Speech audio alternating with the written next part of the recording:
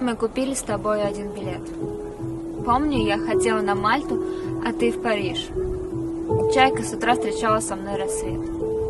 И я до конца не верила, что ты сбежишь. Мы купили билет в один конец, но наш рейс изменил маршрут.